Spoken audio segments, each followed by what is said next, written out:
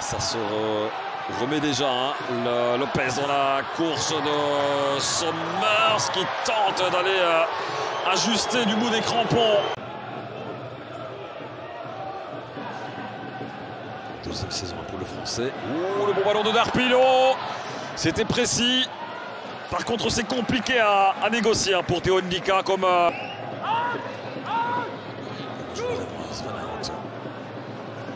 s'écarte. Ouh, attention, cette balle. Effet d'optique, je pensais que ça rentrait dans la cage. Ça passe pas loin du tout. C'est légèrement dévié, j'ai l'impression. Ah, il a tout le temps de, contrôler et d'envoyer ce ballon. Vitinho. Le couloir est totalement ouvert pour le Brésilien. Le petit coup d'œil. Somers qui se rend disponible. Il préfère le centre, deuxième poteau. Mauvais choix. Et la frappe enchaînée derrière. Ouais, c'est cadré. C'est cadré au moins cette frappe.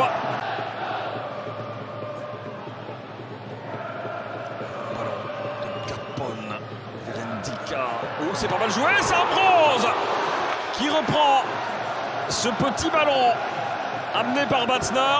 Et on est content sur le banc. Pas de position de hors-jeu. Une relance de la tête. Regardez Batzner qui se bat pour offrir cette petite balle. Peu seul par contre, un bout de soutien. Ambrose. Un coup de botte vers l'avant. La course de Milan. Il y a du choix avec Summers ou encore Otiche. Bon ballon vers Summers. Le contrôle. Il doit frapper. Summers. C'est le but pour le cercle de Bruges. 66e minute. Et pour l'instant, le plan de Yves Van der par son premier but cette saison en Jupiler Pro League. Quel travail de la part de Milan. Hein. Le petite feinte de corps pour aller servir euh, Thibaut Sommers. Et là, on n'est pas assez dans la défense. Un Indica qui revient en, catastrophe. Il n'y a que deux des trois défenseurs centraux. Et Alexander Blessing qui qui paye un petit peu sa pression offensive.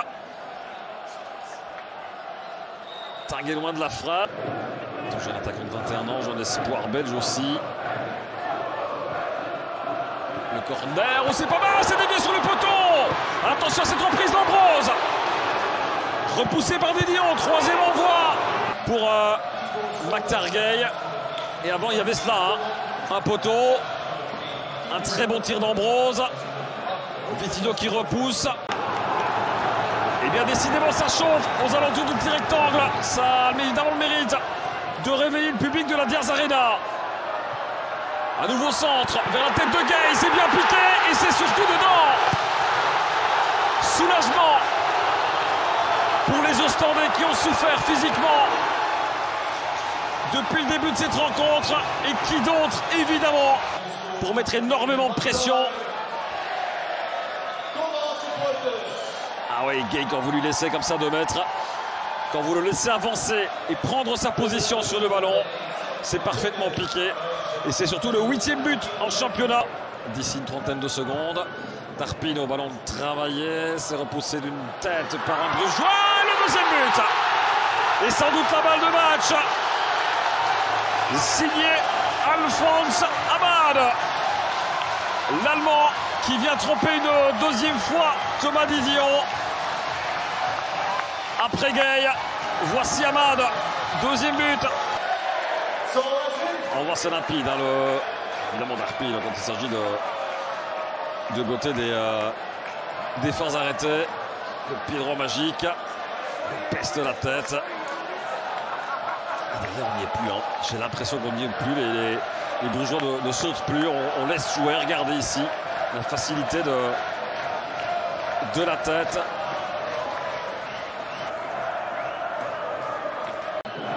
Cette longue touche de robe de Koster qui hésite.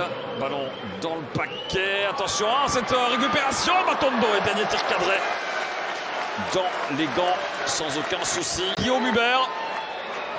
On y a cru hein, du côté des supporters avec ce ballon qui rebondit euh, plutôt bien pour euh, Rabi Matondo. Ne trompe pas. Guillaume Hubert. Victoire pour le KBO face au cercle de Bruges, le cercle qui s'enfonce encore un peu plus dans le doute.